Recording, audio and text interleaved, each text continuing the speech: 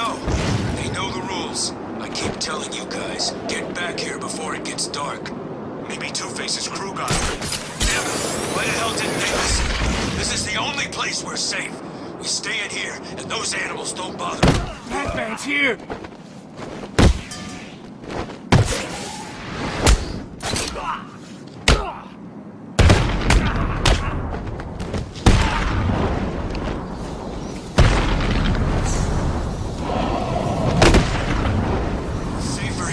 Out there. I'll get us some food.